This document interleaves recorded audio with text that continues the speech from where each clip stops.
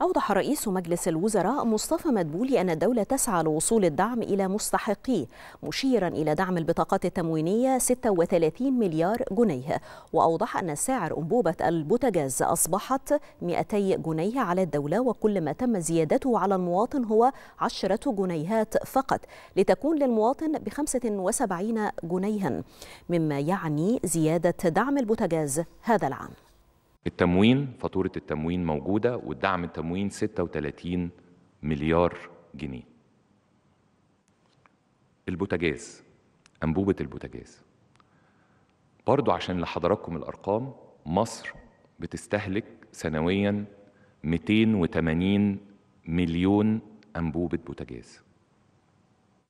280 مليون أنبوبة بوتاجاز. التكلفة الفعلية للأنبوبة على الدولة 200 جنيه.